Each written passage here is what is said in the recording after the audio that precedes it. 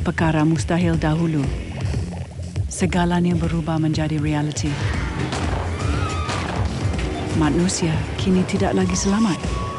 Adakah kecekalan mereka mampu mengubah segalanya?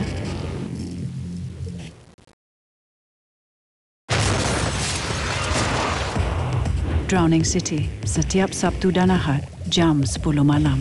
Hanya di saluran telenovela pertama Malaysia, Astro Bella.